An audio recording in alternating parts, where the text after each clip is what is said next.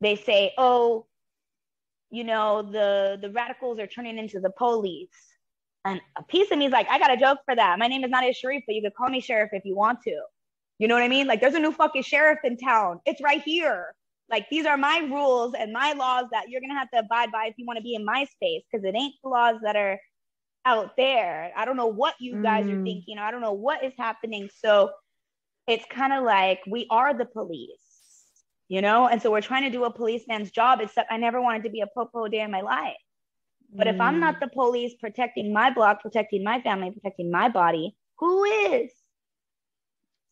Damn.